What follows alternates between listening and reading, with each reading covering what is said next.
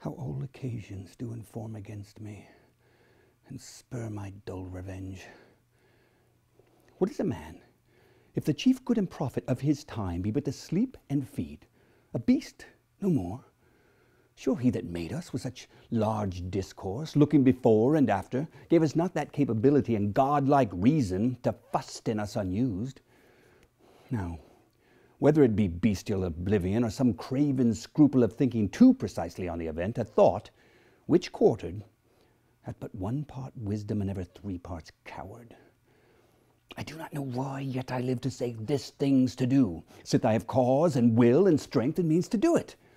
Examples gross as earth exhort me. Witness this army of such mass and charge, led by a delicate and tender prince, whose spirit, with divine ambition puffed, makes mouths at the invisible event, exposing what is mortal and unsure to all that fortune, death, and danger dare, even for an eggshell. Rightly to be great is not to stir without great argument, but greatly to find quarrel in a straw when honour's at the stake. How stand I then, that have a father killed, a mother stained, excitements of my reason in my blood, and let all sleep?